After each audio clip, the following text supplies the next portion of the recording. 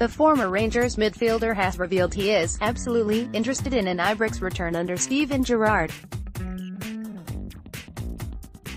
Rangers fans are reacting on Twitter after Charlie Adam admitted, at a William Hill event via the Daily Record, that he is absolutely interested in a return to Ibrox.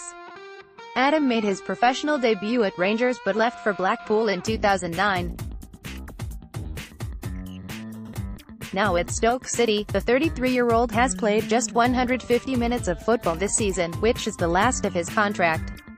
Rangers, meanwhile, have a vacancy in Adams' favoured position of central midfield, after seeing Ovie Ejaria's loan spell terminated by Liverpool. But what do Gers fans make of the comments made by Adam, who played alongside the current Ibrox manager, Steven Gerrard, at Anfield? This is what they're saying.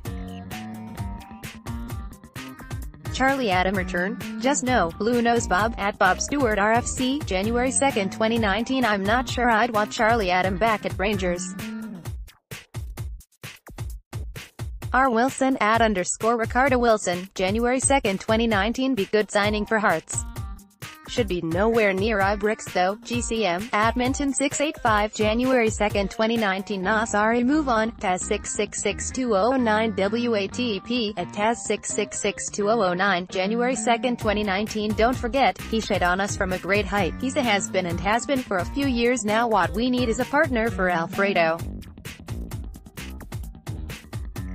Jermaine Defoe type, in no certainties, at Biggie underscore Ron Camkel, January 2, 2019 If Davis was a no-goer I'd be up for him coming back but we don't need both. Thanks anyway at Charlie, 555 at Teddy Bear FC, January 2, 2019 Charlie Adam, Burn That With Fire, RABMCD, at Robert M. Cedarmid, January 2, 2019 Charlie Adam, no thanks, Will Robbo, at Woollyboy78, January 2, 2019 No no no, Alan Campbell, at Alan Camp below, January 2, 2019 Let Hearts have him, Alan, at Alan Brown underscore 1, January 2, 2019 Rangers are being strongly linked with a move for another of their former central midfielders, Steven Davis.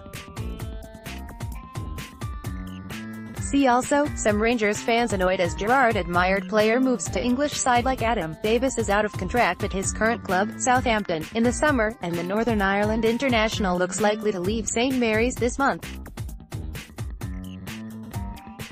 Would Adam be that bad a signing for Steven Gerrard's Rangers?